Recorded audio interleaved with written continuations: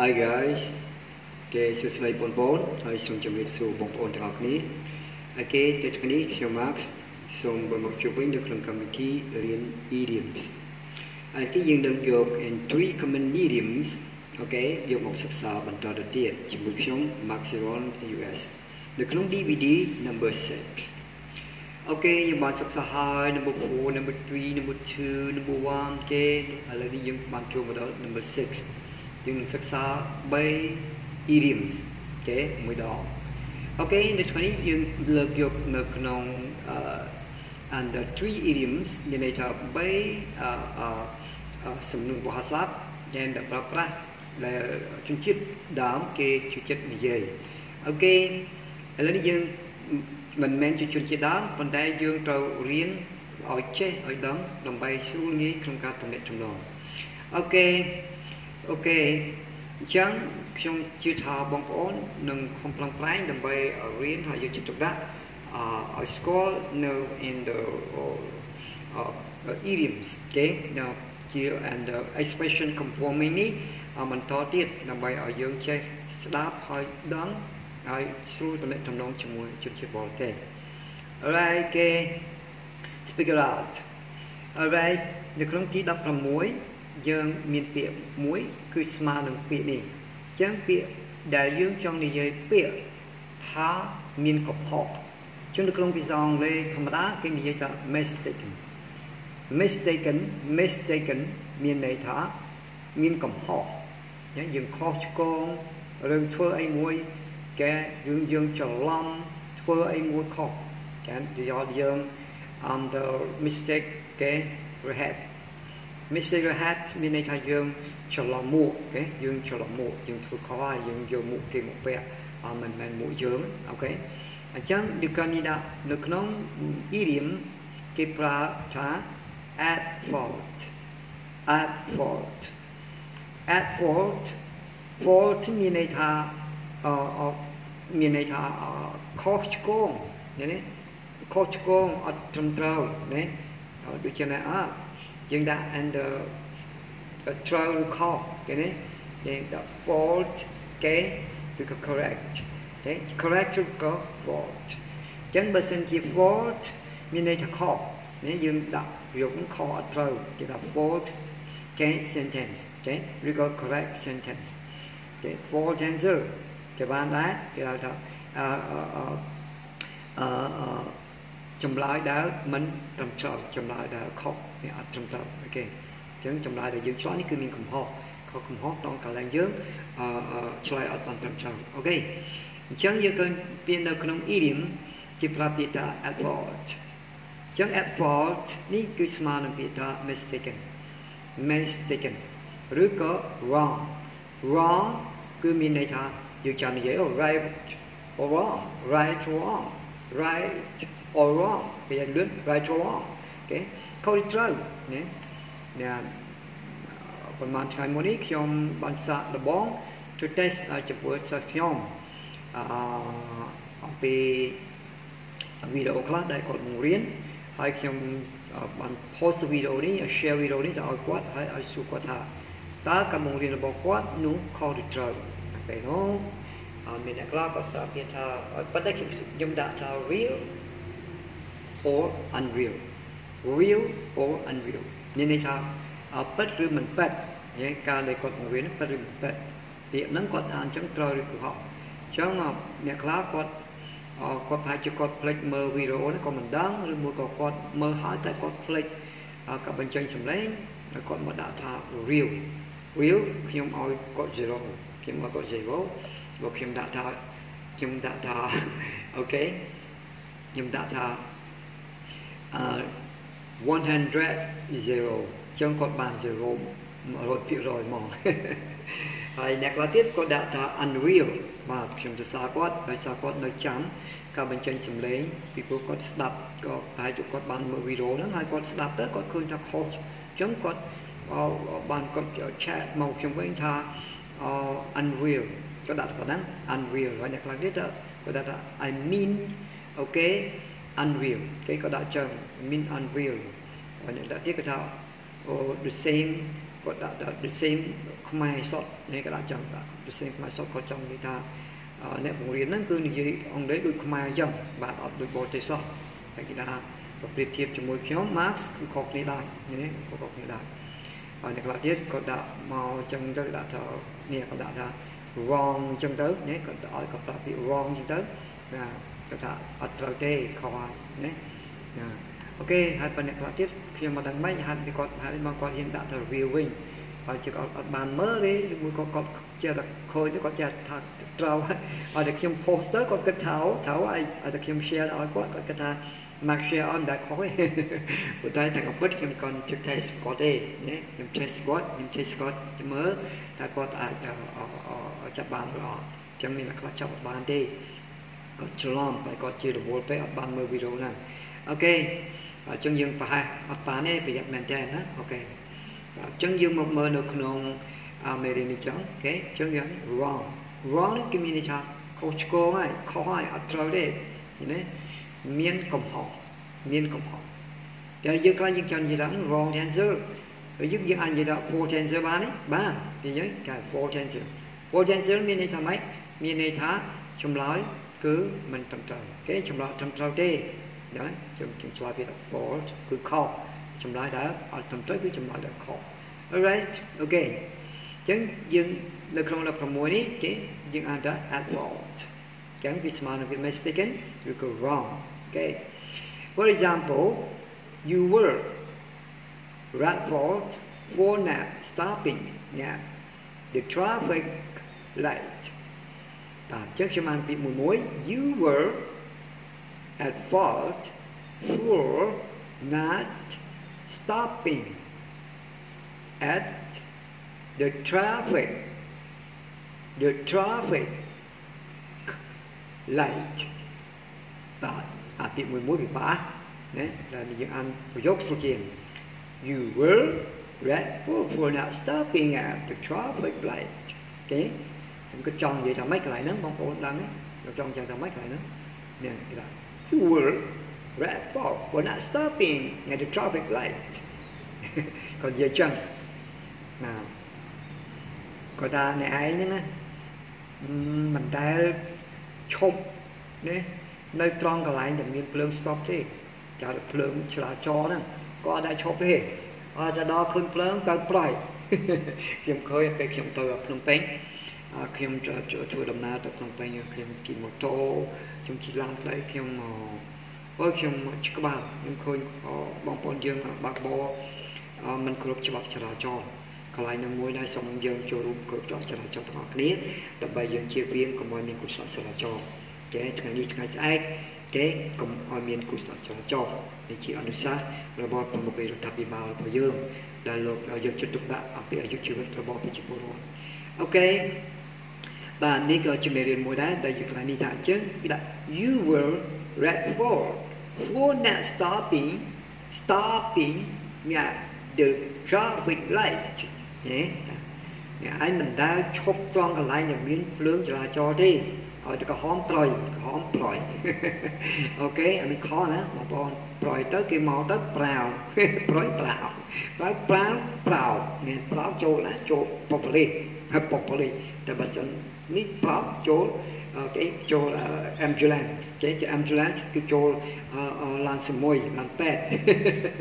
អូខេជាវាអាចមានពេលខ្លះយើងគេហៅថា pathway គឺមានអាចស្លាប់គឺ die គេពេលខ្លះក៏យើងរបួសទៅមានពិបាកណាអូខេចឹងសូមឲ្យយើងអរគ្នា មេរៀននេះមួយឧទាហរណ៍នេះមួយខ្ញុំគាត់ប្រាប់ថាមកបងប្អូនណាខ្ញុំឃើញបងប្អូនមួយចំនួនណាគឺគាត់អញ្ចឹងអញ្ចឹងខ្ញុំនិយាយថា you were right for not stopping at the traffic light ចឹងខ្ញុំនិយាយចឹងតែឯងមិនដែលឈប់តង់ភ្លើងដែលមានភ្លើងក្រហមណាភ្លើងចរាចរណ៍ទេតែតែឃើញភ្លើងចរាចរណ៍ហើយទៅប្រយប្រយប្រាវប្រាវប្រាវ okay បាទចឹងកុំឲ្យមានអាហ្នឹងណាបងប្អូនណា okay អមាក់សង្ឃឹមថា យើងនឹងចូលរួមដើម្បីគោរពលោកចរាចរណ៍ទាំងអស់គ្នាដើម្បីសុខភាពអាយុជីវិតរបស់បងយើងទាំងអស់គ្នាណា okay យើងកើតមកមិនស្រួលទេបងប្អូនហើយមកបើយើងពិបាកណាចិញ្ចឹមយើងពុំបានប៉ុណ្ណេះហើយយើងស្លាប់ងាយងាយជិតមិនពិបាកណាអូខេ alright ចឹងនៅក្នុងឧទាហរណ៍នេះយើងឧទាហរណ៍ចឹងណាអូខេ Let's go to the next one in number 17នៅក្នុងទី17យើងមានពាក្យមួយទៀតគឺ at last at last at last បាទ at last មានន័យថាម៉េចបើសិនជាយើងអានពាក្យមួយ at last បរិយពេលកាលណាយើងអានលឿន at last but at last មានន័យថា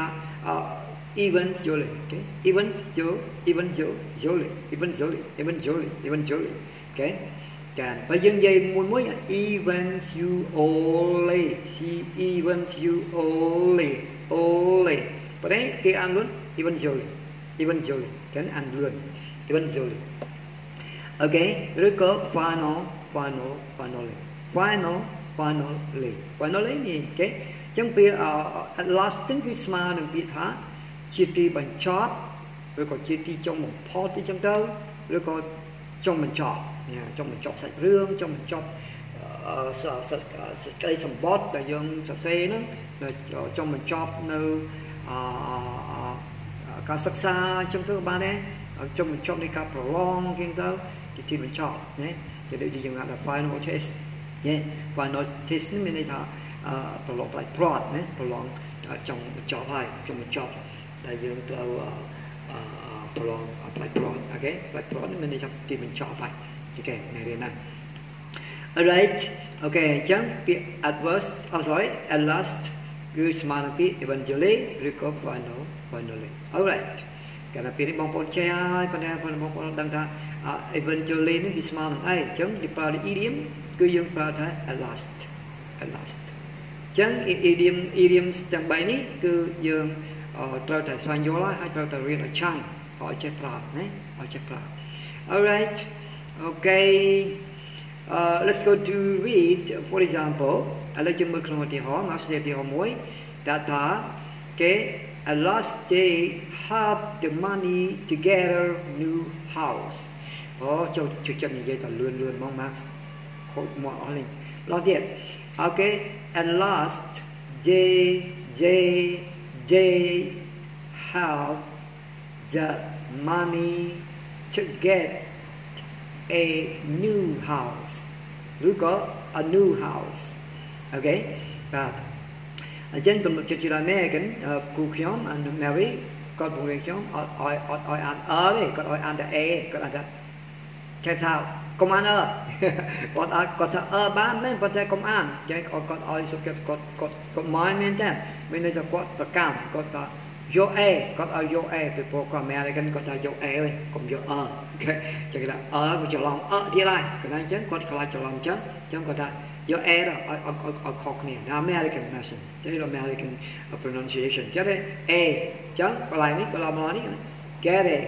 get a new house get a new house ចឹងក៏ពេលអានលឿនហើយបើតែយើងអាន get a new house អូខេបាទចឹងយើងមកទៀតណា at last they have the money to get a new house អូ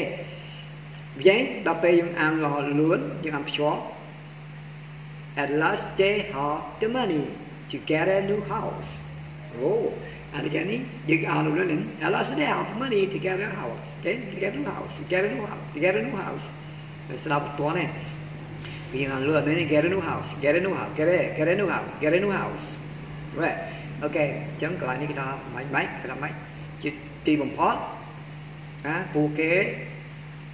មានលុយអូខេមានលុយទិញទិញអីគេទិញផ្ទះថ្មីមួយមួយទិញទិញទិញបានផ្ទះថ្មីមួយគេនេះចាទីទីបញ្ចប់គាត់មិនសមលុយគាត់ได้ saving account របស់បងគាត់គាត់មាន saving account មានន័យថាគាត់មានកណនីសន្សំហើយគាត់មាន saving account ពេលគាត់មាន saving account អញ្ចឹងគាត់មានលុយសន្សំទុកបានច្រើនពីអ្នកដៃប្រពន្ធគាត់អញ្ចឹងដូច ខ្ញុំចឹងពេលយើងនេះយើងមានយើងចាយើងមានយើងទីបញ្ចប់យើងមានលុយទិញផ្ទះគេទេយើងមានលុយទិញឡានយើងមានលុយទិញដីអញ្ចឹងទៅអូខេអញ្ចឹងទៅយើងអាចដាក់មិនក្បាលដែរនិយាយយើងដាក់កេនយូរយយើងដាក់កន្លែងនេះណា last day I have the money to get a land new land ឬក៏ land ចេះឬក៏ and the how outside គឺគឺក៏ខឬ new ខអូខេចាំបាទណាអូខេបាទនេះជាជារឿងជាហបទៅណាអូខេបាទអញ្ចឹងយើងកំដាក់នេះដាក់យេគេ at last they have the money to get a new house គេទីបញ្ចប់អឺពួកគេក៏មានលុយទិញបានផ្ទះថ្មីមួយ okay Okay let's go to the next one number 18 ឥឡូវយើងចូលនៅក្នុង18នៅក្នុងចូលដល់ and uh, idiom 3 okay idiom 3អញ្ចឹងយើងយើងមានពួកយើងមាន3 idioms បើយ៉ាងយើងចូលដល់ idiom 3អញ្ចឹងយើងយកទីទីនេះយើងដល់អឺទីបាយហើយ3 idioms អូខេចឹងយើងមើល third idioms នេះគឺទី3នេះគឺយើងក្នុង18នេះយើងប្រើពាក្យមួយទៀតគឺ at ដូចគ្នាយ៉ាង at at ច្រើនណាស់ at least at least but at least at least at least but at least នេះស្មើនឹងពាក្យថា as a គេ as a minimum minimum គេ minimum minimum នេះគឺបងប្អូនយល់វា minimum មានន័យថាម៉េច minimum យើងយើងនិយាយថាអូអូមកគេគេអីគេយើងហៅពា ក្យតាមភាសាខ្មែរគេអូកម្រិតវាហ្នឹងមកសមោងគេហ្នឹងអូខេប៉ុន្តែគេថា as a minimum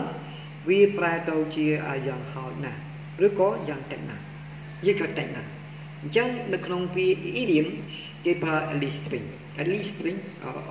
ត់សូវចិត្តស្រួលជាងអញ្ចឹងបរទេសអត់ចូលចិត្ត as a minimum ទេគេចូលចិត្តប្រើពាក្យ at least string អញ្ចឹងមកពេលខ្លះយើងអត់ដែលរៀន at least ពេលយើងនិយាយថាអត់ផ្សេងអឺបើផ្សេងអត់យល់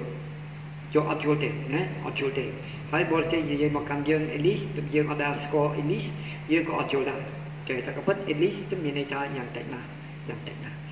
អូខេ Max មានឧទាហរណ៍មួយនៅខាងក្រោមគេ Max សរសេរឧទាហរណ៍ណាតយើងមើល for example គេ it should cost ណា sorry និយាយចូលចោតទៀត it should cost cost កន្លែងនេះខ្ញុំលើកខខ្មែរយើងគឺច្រើនបងប្អូនសិស្សខ្មែរយើង ពេលគាត់មករៀនជាមួយខ្ញុំគាត់អានកន្លែងនេះខូគេថាអូខូអីគេខូអីខ្ញុំអត់ដឹងទេណាតែក៏ពិតបងកុំអានកន្លែងនេះ cost ទេយើងអានកន្លែងនេះអាន cost it should cost at 20 dollars 20 dollars to have that widow repaired repaired repaired repaired repaired អូ ខេបាទ repaired មានន័យថាបានជួសជុលបានជួសជុលវាជួសជុលរួចហើយបាទប៉ុន្តែនៅក្នុងនេះអត្ថន័យនេះយើងចង់និយាយថាចេះយើងចង់និយាយថាអឺយ៉ាងហោចណាយើងត្រូវចំណាយលុយយើងត្រូវចំណាយលុយ20ដុល្លារ ដើម្បីធ្វើអីនេះដើម្បី issue នេះណាដើម្បីជួលជួយ sorry ជួលចូលបងអួយនេះជួលចូលបងអួយនេះអញ្ចឹងយ៉ាងហោចណាស់នេះក៏យ៉ាងតិចណាយើងត្រូវចំណាយមានន័យថាចំណាយលុយទៅដល់ទៅ20ដុល្លារដើម្បី to help the widow repair អូខេគឺដើម្បីចុះចំណាយលុយចុះអីដើម្បីចំណាយលុយដើម្បីជួសជុលបងអួយអញ្ចឹងបង្អួយនេះត្រូវចំណាយលុយ20ដុល្លារបើយើងមាន20ដុល្លារដើម្បីជួយជួយបង្អួយនេះបានគេអញ្ចឹងបងប្អូនអាចដាក់ផ្សេងផ្សេងពីនោះបានហើយយើងអាចដាក់វីដេអូបងប្អូនអាចដាក់ទៅ and អឺ can the bicycle ឬក៏ TV ឬក៏ and the computer ចេះឬក៏ស្អីគេ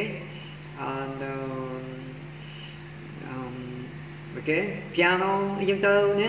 bla bla bla ចឹងទៅអូខេយើងមានច្រើនអញ្ចឹងយើងក៏បដូរកន្លែងនេះយើងបដូរវីដេអូនេះចេញហើយកន្លែងនេះយើងនៅដដែលយើងនៅថា it should cost uh, 20 dollars to have that computer repaired ចាយ៉ាងហោចណាស់យើងត្រូវចំណាយលុយ20ដុល្លារដើម្បីជួសជុល computer ណាម៉ាស៊ីនព័ត៌មានវិទ្យាណា right ហើយយើងដាក់ជួសជុលឡានមក car អូខេចាយើងដាក់ car repair អូខេ repaired ចា okay ប្រែអានអាមេរិកជួយប្រើពាក្យ fix ចេះចើ fix ចេះនិយាយថា that and or cause fix fix fix fix ចេះមានន័យថាយ៉ាងហោចណាស់ក៏ចំណាយលុយអ20ដុល្លារដើម្បីជួសជុលរថយន្តរថយន្តអូខេដើម្បីជួសជុលរថយន្តអូ ខេអញ្ចឹងនេះឲ្យ idiom 3 common idioms នេះមកសង្ឃឹមថាបងប្អូននិងបងប្អូនទាំងអស់គ្នាដែលរៀនពីអង់គ្លេសនឹងយកចិត្តទុកដាក់ដើម្បីរៀននិយាយតាមបែបនេះដើម្បីឲ្យយើងចេះប្រើភាសារៀមក្នុងការយល់ពីអត្ថន័យក្នុងការយើងប្រើចុះនិយាយជាមួយនឹងជនជាតិបរទេសឬជនជាតិដើមអូខេឥឡូវនេះយើងហាត់អានជាមួយគ្នាម្ដងទៀត Alright command idioms with brother Mazeron the US DVD number 6 16 at fault equal mistaken wrong for example You have reliable for not stopping at the traffic light. 17. At last, equal, eventually, finally. For example, at last they have the money to get a new house. 18. At least, equal as a minimum. For example, it should cost that $20 to help that widow repair. Alright, thank you for your consideration for three common idioms នៅក្នុងវីដេអូនេះដូច្នេះខ្ញុំសូមឲ្យយើងទាំងអស់គ្នាយកចិត្តទុកដាក់ដើម្បីអាន នៅក្នុង three idioms រាល់ថ្ងៃអូខេជើហើយពេលនេះ maximum two idioms នេះជាបន្តបន្តទៀតអឲ្យបានច្រើនដើម្បីឲ្យយើងយល់ដឹងអំពីការប្រើ idioms នៅក្នុងឲ្យដូចជា native speaker ដូចជាជនជាតិដើមអូខេបាទសង្ឃឹមថាវីដេអូនេះនឹងជួយឲ្យបងប្អូនអាចយល់ដឹងនិងមានចំណេះដឹងក្នុងការសិក្សាក្នុងលក្ខណៈការប្រើប្រាស់ idioms ខ្ញុំ Max AUS សូមជម្រាបលាសូមព្រះប្រទានពរ